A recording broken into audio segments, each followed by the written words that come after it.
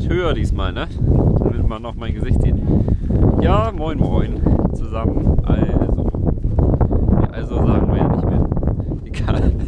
Ähm, ja, heute wollte ich euch Folgendes zeigen. Nämlich hatte mich, äh, äh, ach ja, bei YouTube in der Diskussion, da kann man ja auf unserem Channel auch in der Diskussion was schreiben, hatte ich Gott sei Dank gesehen, hatte jemand gefragt, ob ich mal zeigen kann, wie man Holz richtig einlagert, beziehungsweise so, dass das, äh, ja, wie man das richtig macht, weil sich da wohl jemand einen kleinen Holzvorrat anlegen wollte. Ähm, ich hoffe, derjenige sieht das Video dann hier auch. Ich bin jetzt auch kein ausgemachter Experte. Ich habe die letzten Jahre halt relativ viel Erfahrung, oh, ist das glatt hier, damit äh, sammeln können. Weil ja, ich habe ja in Schloss Waldersroda gewohnt, da haben wir auch komplett mit Holz geheizt und haben das äh, Holz ja, ich sag mal, teilweise ein bisschen selber gemacht. Viel haben wir uns aber auch gespalten kommen lassen. Aber jetzt, wo ich umgezogen bin, haben wir uns hier halt auch wieder ein bisschen, also einen kleinen Küchenofen haben wir auch und äh, ein bisschen Holz selber gemacht, aber nur wenig. Aber nichtsdestotrotz wollte ich euch heute mal zeigen, wie das so aussehen kann, wie so ein Holz gelagert werden kann. Verschiedene Varianten, weil hier, wo ich wohne, da gibt es überall Holzlagerstätten und da wollte ich euch ein paar zeigen, damit ihr einfach mal einen Eindruck davon habt. Da gehe ich jetzt gerade zu einer hin, wo ihr dann mal gucken könnt, wie das die Leute hier so machen. Und ich glaube, und ich werde auch mal ein bisschen so erzählen dazu, was ich da so von halte und wie ich es machen würde. Dann zeige ich noch, wie mein Schwiegervater, beziehungsweise ja, wie ich in der Scheune meines Schwiegervaters das Holz geschaltet habe, wie ich das da noch sortiert habe gerade, weil ich es letztens von einem großen Haufen umgeräumt habe.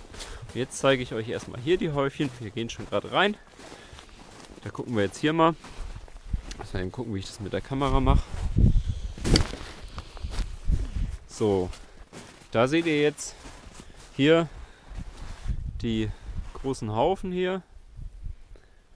Und ihr seht schon hier unten, da hat derjenige Paletten drunter gelegt. Das hat er aus folgendem Grund getan. Die Paletten hat er unten drunter gelegt, damit äh, die Luft immer von unten ran zirkulieren kann und sich da unten keine Feuchtigkeit bildet und da kein Schimmel und nichts kommen kann. Und hier oben drüber, das kann ich euch auch mal von oben zeigen. Dafür habe ich, dafür habe ich ja diesen schönen langen Stab.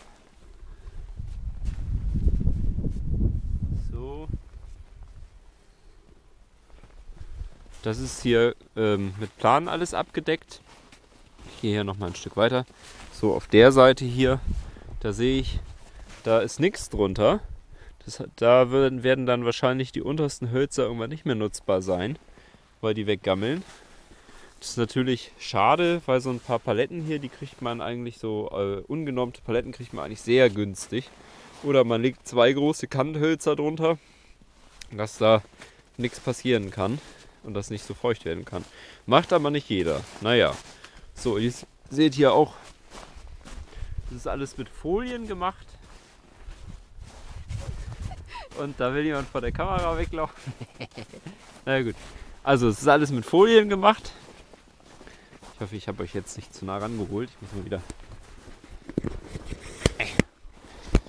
umstellen. So. Ich werde das Ganze umdrehen hier. Doof. Ja, so, so geht's, glaube ich. Jetzt bin ich wieder. So, und jetzt zeige ich euch nochmal, wie man das so in, in so Boxen, hier hat nämlich derjenige auch, das gibt es hier überall, so Boxen, die zeige ich euch jetzt nochmal, wo man das einfach reinlagern kann, die man auch gut stapeln kann. Ist auch eine ganz schöne Methode. Hier. So, Wobei ich immer schade finde, dass hier immer so Folien genommen werden oder hier wie zum Beispiel so, ja, das ist halt alles Plastik irgendwie und äh, was, das verrottet dann irgendwann, beziehungsweise wird immer brüchiger und irgendwann bröselt das hier in die Natur. Das ist auch scheiße.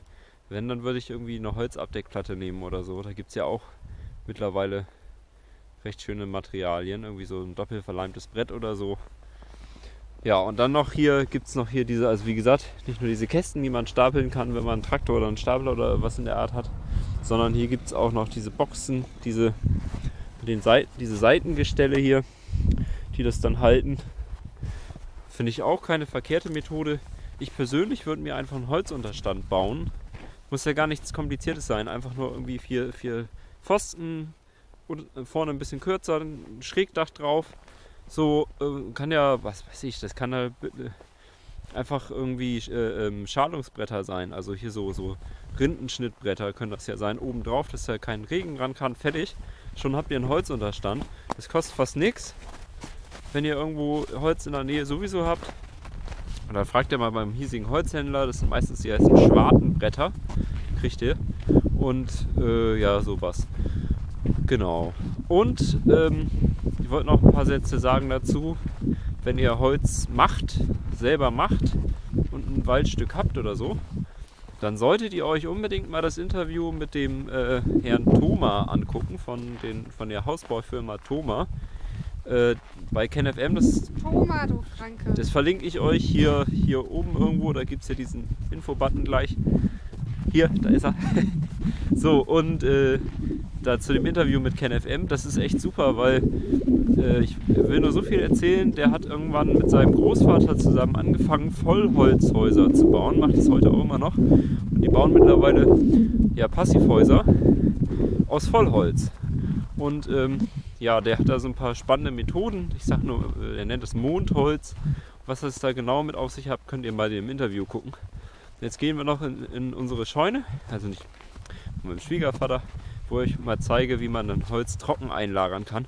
Aber vorher zeige ich euch noch ein, äh, eine Sache, wie man es nicht machen sollte, ähm, wo derjenige wahrscheinlich keine Zeit mehr gehabt hat. Da gehen wir jetzt noch mal hin und da zeige ich euch noch mal, wie man es nicht machen sollte. Genau.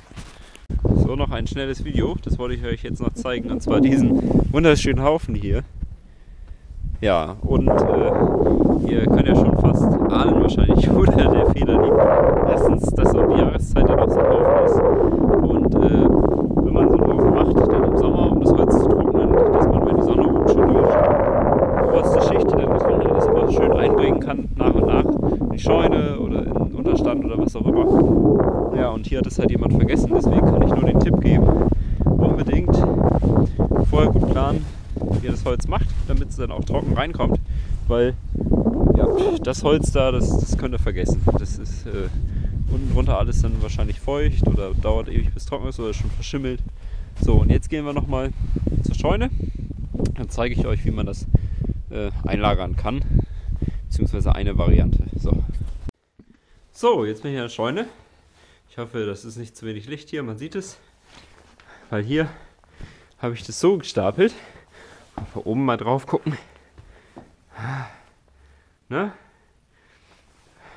Und wichtig, wenn ihr so, so Haufen macht mit so kurz geschalteten Hölzern, also mit so kurzen hier, dass ihr immer ganz viel Versatz reinbringt, dass die schön stabil werden.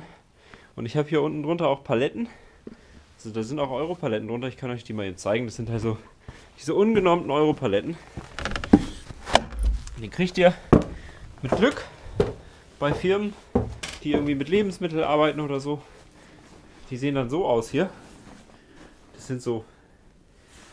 Und die habe ich damals für 20 Cent das Stück gekriegt. Äh, nur weil die Rechnung geschrieben werden musste. Und da sowas ja Arbeitszeit und dementsprechend Geld kostet, haben die 20 Cent das Stück gekostet. Habe ich mir damals 100 Stück geholt. War ich bei 20 Euro. Und das ist, äh, wie gesagt, die kosten dann fast nichts, äh, wenn ihr die selber abholt. Da gibt es sogar, also damals war es noch so, so eine, äh, die Firma, wo ich das abgeholt hatte. Die hat mittlerweile auch nicht mehr, aber die haben da damals sogar äh, die kostenlos äh, zersägt rausgehauen. Also die haben die selber zersägt und man konnte dann mit Anhänger hin, haben die die reingeschmissen, damit sie die los sind, wieder Platz haben. Ja, jetzt gehen wir wieder hoch. Genau, also was ich hier auch echt selber mache, das kann ich euch auch echt nur empfehlen, wenn ihr wirklich nur einen ganz kleinen Holzbedarf habt. Auf der Seite hier habe ich mir hier so ein kleines Sägegestell gebaut. Äh, und dann mit einer Schwedensäge hier, mit einer Astsäge, säge ich mir mein Holz selber. Und äh, das ist jetzt nur für unseren Küchenofen. Ähm, ja, das äh, werde ich dieses Jahr wahrscheinlich nicht mehr verbrauchen, weil das noch zu feucht ist. Ähm, aber so könnt ihr euch euer Holz selber machen und ich sammle nur Totholz. Das ist nur Totholz oder was bei irgendwie, wenn ich was gebastelt habe hier, das ist hier noch der Rest äh, von meinem Eschenrohling für, für, das, für die Axt, die ich gebaut habe. Ähm, vom, äh, Splintholz, was schon zu durch war, das verheizt sich. Ja, und äh, jetzt kann ich euch noch, wenn ihr ein bisschen mehr Holz machen wollt für euren Eigenbedarf, dann gebe ich euch den Tipp, holt euch eine Schrotsäge. Da verlinke ich euch unten mal, wo man die kriegt. Weil eine Schrotsäge ist super geil. Das sind diese großen alten Doppelsägen. Und mit denen könnt ihr Stämme und alles echt super fix sägen, ohne dass ihr Benzin oder irgendwas verbrauchen müsst. Von daher kann ich euch nur empfehlen, holt euch irgendwo gebraucht eine Schrotsäge oder auch eine neue, weil so ein Ding, wenn man das pflegt, das hält ewig. Die könnt ihr auch im äh, Normalfall selber schärfen, weil das meistens ungehärtete sind. Und äh, notfalls sind die Zähne so groß, dass ihr da auch mit der Diamantpfeile, also mit der Diamantraspel, äh, was machen könnt. Und da kann ich euch unten mal verlinken, ähm, die, weil das ist eine gehärtete, soweit ich weiß. Äh, eine Schrotsäge, eine super tolle. Und äh, Diamantpfeiler äh, zeige ich euch auch noch, wo ihr die kriegt. Weil so ein Ding werde ich mir auf jeden Fall, wenn wir umgezogen sind, selber holen, eine Schrotsäge. Äh, Im Moment lohnt sich das gerade nicht, weil wir noch umziehen, aber da heizen wir dann auch wieder die Wohnung äh, zur Hälfte mit Holz. Und da werde ich mir so eine Schrotsäge holen, weil ich habe ehrlich gesagt keinen Bock mit so einem. Erstens sind die saugefährlich, diese Motorsägen. Und äh, ihr braucht Benzin, ihr müsst die warten und und und. Und so eine Schrotsäge, da muss ich nur eine Pfeile besitzen. Also entweder so eine Diamantpfeile oder normale Metallpfeile dann kann ich mein Holz komplett selber machen und bin auch nicht irgendwie darauf angewiesen. Klar geht das nicht so schnell wie mit der Motorsäge, aber ihr habt auch viel sauberere Schnitte. Das heißt, wenn ihr euch mal Werkstücke herstellen wollt, könnt ihr das auch mit der Schrotsäge machen. Und dann verlinke ich euch noch ganz unten in der Infobox noch einen Tipp zu einem Kanal von einem Tischlermeister, der so Restauration macht. Der hat saugeile Videos. Der zeigt auch, wie man mit einer, ich glaube, die heißt Kransäge, Schwansäge, Kransäge, glaube ich. Das ist auch so eine alte Säge, mit der man sogar selber äh, wirklich ganz tolle Bretter und Dielen sägen kann. Was natürlich auch nicht so schnell geht wie mit motorisierten Sägen, aber auch mit einem super tollen Schnitt. Also der hat auch geile Videos, kann ich euch nur empfehlen, um da mal reinzugucken. In dem Sinne wünsche ich euch noch einen schönen Tag und hoffe vor allen Dingen demjenigen, der in der Diskussion das gesagt hat, dass ich da irgendwie weiterhelfen konnte. Macht's gut und auch noch ein schönes neues Jahr.